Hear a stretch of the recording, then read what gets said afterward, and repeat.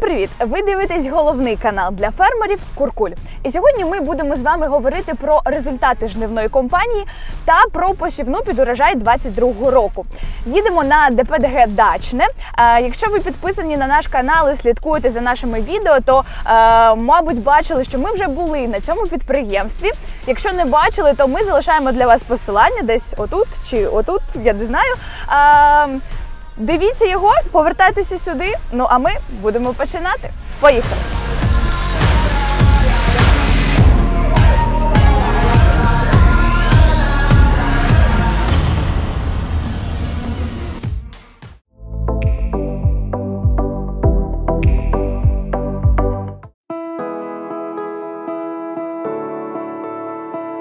В цьому році, як і завжди, у нас є набір своїх культур.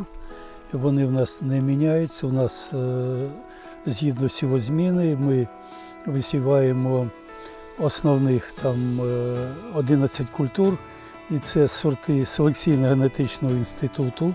Е, Торічний рік він був з восени не дуже благоприємним, не вистачало вологи. І ми, якщо там 100% посіяли озиму пшеницю, всі сорти висіяли згідно плану, то озимий ячмінь ми не весь посіяли. Ну, е, добре, що це дворучки, і ми вже досівали рано весною. Ячмінь досівали. Теж е, план по зимовому ячменю виконано. Пшениці, я вам скажу, що ми ж висіваємо в зоні степу знаходимося, зони рискованого землеробства, але висіваємо і ті сорти, котрі предназначені для лісостепу, для полісся. Звичайно, що там вони дають добрі результати, а в нас тут вони свої потенційні можливості не можуть дати, тому що це. Але ми їх висіваємо. Тобто на круг ми отримали 55 центрів озимої пшениці.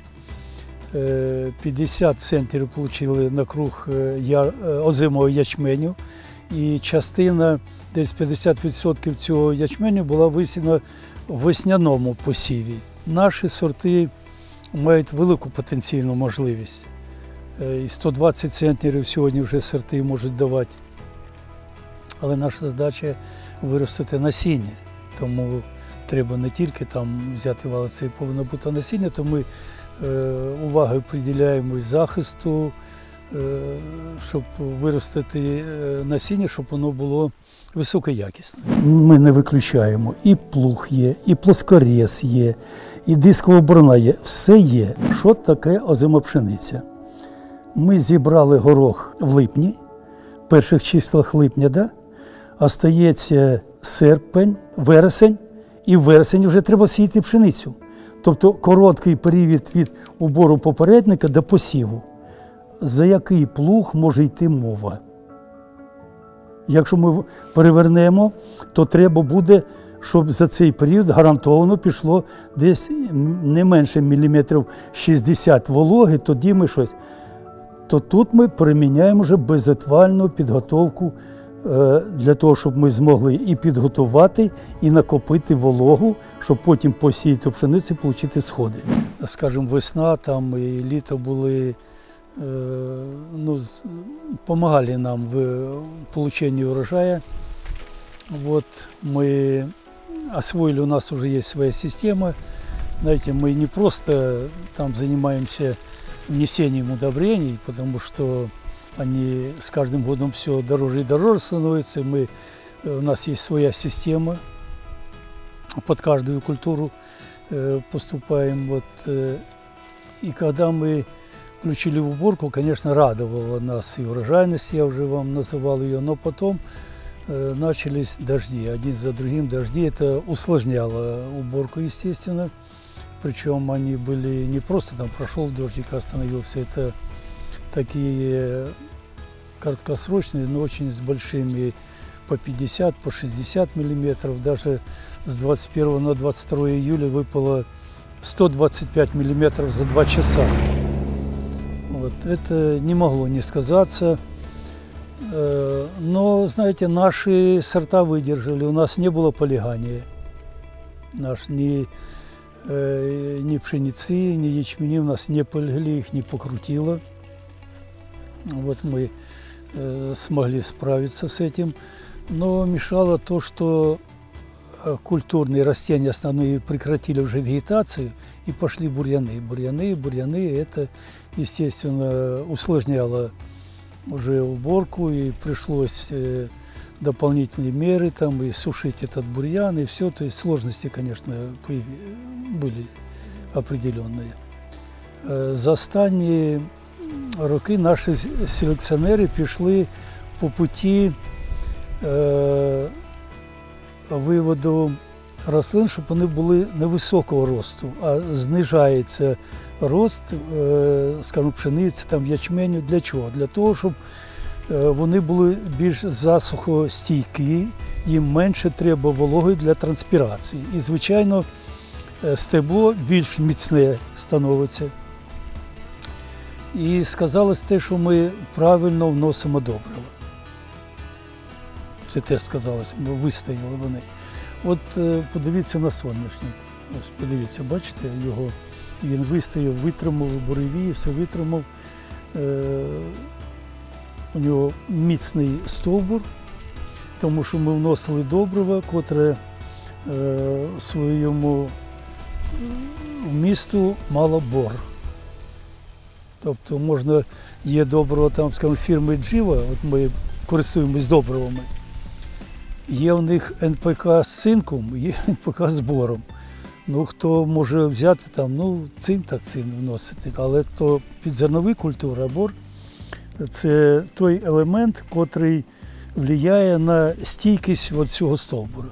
І от на сьогоднішній день ви бачите, ми вже підійшли до того, що треба збирати, слава Богу, стоїть, його не поваляло, не покрутило, там він витримав. Ми серйозно підійшли от, е, к подбору гібрида.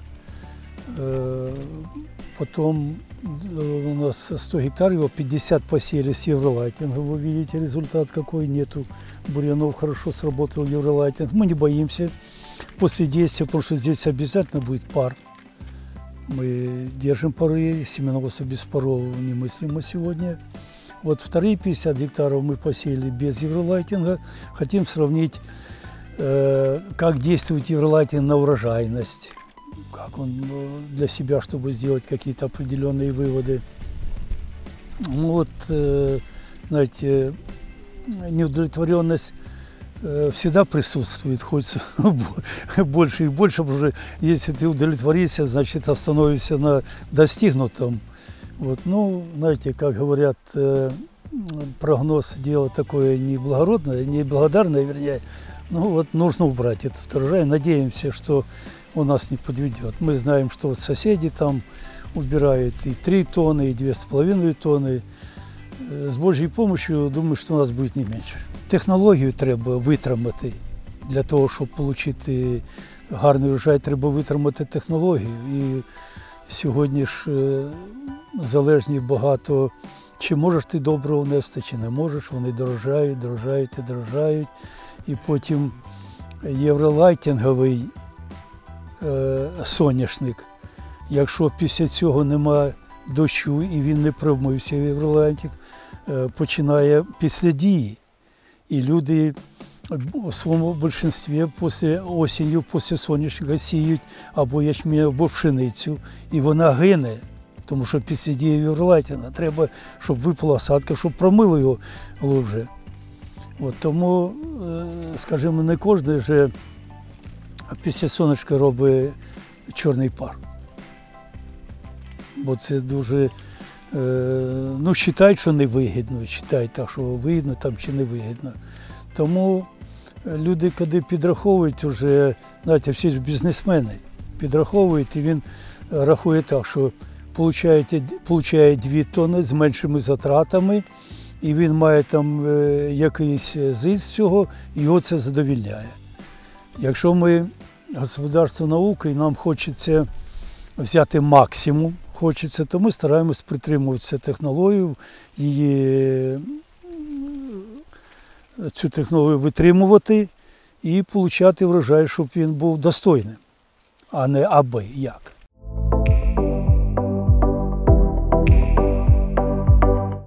Дивіться, 22 рік, як і всі, от у нас е, на півдні е, погодні умови не сприяють е, посіву озимини.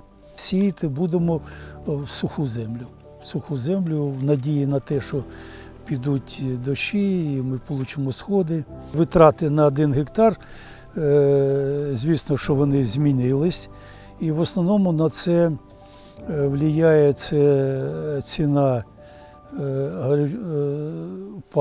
паливних матеріалів, е, добрив і защита растений. От то, що впливає. Так, все останнє залишається там е, таким, а це дуже, дуже впливає. Дуже добриво. Якщо в прошлому році там ті самі добрива коштували, ну, хороші добрива коштували 16 тисяч, то в цьому році 30 і більше. Вд- Вдвічі добрива коштують. Тому ми не поспішаємо, звичайно. Знаєте, там от нам дзвонять і кажуть, що добрив будуть дорожчати. Ну, я собі думаю, хлопці, ну якщо вони подорожають, що ми не зможемо купити, ну не купимо. Тому дорожчати, до яких пір вони будуть дорожчати? До яких? До тих, коли їх не зможуть купляти. Ну нехай дорожчають, що ж.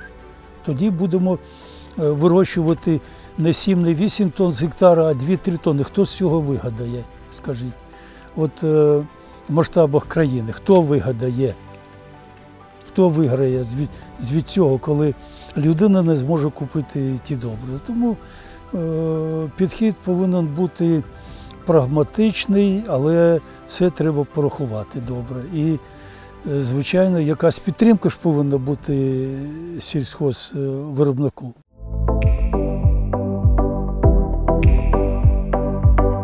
Система живлення рослин у нашому господарстві змінилася. Ми багато випробовували добрив різних всяких там, не знаю, от е, знає географію, там починають там, звідти привезли добрива, там нема заводу, і думаєш, звідки ж вони.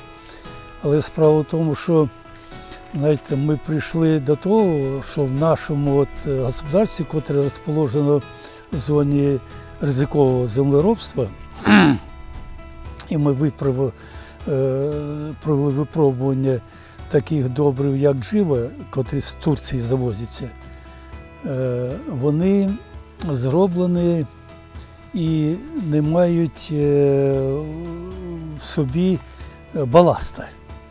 Це тільки мінеральний, е, мінеральний азот, фосфор і калій, там нема баласту. Тому вони е, моментально растворяются, э, гигроскопичные, немного нужно влаги, растворяются хорошо. Больше того, формула правильно подобрана. Допустим, фосфор имеет э, три вида, там, которые используются э, сегодня, завтра и послезавтра пролонгированно. Вот, то есть мы эти удобрения мы опробовали, да, они э, рас- растут в цене, соответственно, мы лишь бы как не сыпаем их, понимаете, даем уже рачительно, вот при посеве столько, сколько нужно. Если, допустим, раньше давали там 100-120 килограмм, то сегодня опускаемся и до 60, до 80, чтобы э, внести эти удобрения. А потом работаем по листу. По листу у нас есть опыт, э, вот э, как не просто, а какими листовыми удобрениями и в какой момент, что нужно дать растению, зная физиологию растений. И, соответственно, мы имеем результаты в этом году. Ну вот если э, селекционер там говорит, что озимый ячмень может э, масса тысяч семян быть 39 грамм, может, а у нас он 47. Пшеницу мы получили 45 масса тысяч семян. Это наши наработки, это правильное применение вот этих э, листовых удобрений э, в нашем хозяйстве. Ну, соответственно, и защиту растений мы тоже проводим. Мы провели э, химический анализ, агрохимический анализ почвы. Мы провели его. Мы обнаружили, что дефицит э, азота. дефицит азота. И понимаем почему. Потому что сейчас, слава богу, никто не, не занимается сжиганием пожнивных остатков. Они остаются все в почве.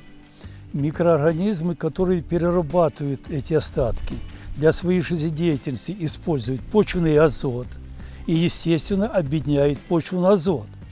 Потому нам достаточно с осени дать стартового посевного удобрения вот столько, чтобы, чтобы с осени э, растение раскустилось, накопило сахара и ушло в зимовку, перезимовало, а весной начинает интенсивное вегетирование. И зная, что там не хватает азота, вот мы начнем э, с ранневесенних подкормок вносить э, аммиачную селитру, ну и дальше по листу уже будем давать НПК, азот, фосфор и калий, но зная, в какой вегетационный период э, растению что нужно дать. Сколько азота, сколько фосфора, сколько калия. Понимаете, тут тоже не просто нужно знать это все, чтобы э, тогда и больше, э, более экономично используешь эти, эти дорогостоящие удобрения. Прежде чем знаете, вот что-то взять дорогое на большую площадь, и потом еще кому-то и порекомендовать, мы сначала все это э, проверяем на небольших э, делянках. Вместе э, с теми, кто продает, мы говорим, друзья, вы хотите, чтобы вас покупали, вы хотите, чтобы мы кому-то порекомендовали, давайте заложим, попробуем, определим. Мы пришли э, к тому, что мы вот работаем уже э, второй год, работаем с фирмой «Живы» по э, минеральным удобрениям, через это мы пришли к этому. Знаете, я как человек, который, ну, логически думаю, вот э, почему так, что эти удобрения, и понимаю, что Турция еще в более жестких условиях находится, чем мы, скажем, вот юг Украины. И, естественно, они пришли к тому, что сегодня без балласта делают формулу этих удобрений, без балласта. Раз. Второе, что их фосфор не блокируется в почве, он 100% используется, он пролонгированного действия. То есть формула очень хорошая. Да, дорогая, хотелось бы, чтобы она была дешевле, но ну что ты поделаешь, вот так это все. Э, нас это устраивает. Раньше мы коли осваювали сівозміну, осваювали сівозміну, ми не використовували добрив і дійшли без добрив до 40 центнерів на круг е, е, збирали зернових. Потім, коли ми стали приміняти добрива, ці ми збільшили і вийшли на круг до 55 центнерів. До 55 центнерів. Тобто ми вносили і на сьогоднішній день ще вносимо мінімальні дози добрив. Ми ще е, не поставили перед собою задачу. Але в цьому році прийнято таке рішення на е, на совещании в селекционно-этическом институте е, поставлена задача. Мы берем определенную площадь, скажем там 50 гектар, и учитывая, что наши сегодняшние сорта в состоянии давать эти 125 центнеров, мы под этот урожай, урожай просчитываем необходимое количество нужных удобрений, сделав при этом э, анализ почвы и зная, чтобы получить урожай, сколько нужно дополнительно сеть, мы на определенной площади, вот, потому что ну, на всю площадь э, а вот сделаем на одной площади, убедимся в том, что оно экономически выгодно, даже большие дозы удобрений вносить, потому что отдача будет. Э, если подводить э, итог вот, э, сказанному, можно э, исходить из того, что, конечно, на земле нужно хозяиновать. хозяиновать. Э, что для этого нужно делать? Естественно, нужно пользоваться достижениями э, науки и передового опыта. Естественно, прежде чем э, вот, э, правильно использовать эту землю, нужно провести агрохимический анализ почвы. Надо посмотреть, что там есть, чего не хватает, какую культуру мы хотим там посеять, какую урожайность мы хотим получить при этом. Естественно, идет расчет по минеральному питанию, больше того, в какой период, сколько нужно дать. Потому что за один раз, если высыпешь, то ты э, потеряешь это растение. А вот есть основное удобрение, есть при посеве удобрение, есть подкормки, все это нужно выдерживать. Конечно, нужно дружить с наукой, нужно дружить, не нужно знаете, шапком закидательством да, здесь не, не нужно заниматься, нужно дружить с наукой, нужно использовать передовой опыт достижений, применять его на практике, потому что все остальное – это бизнес, они должны получать прибыль. Для того, чтобы получить хорошую прибыль, нужно прийти вот э, в науку, расспросить, научиться – передовые достижения применить у себя и получить хороший результат.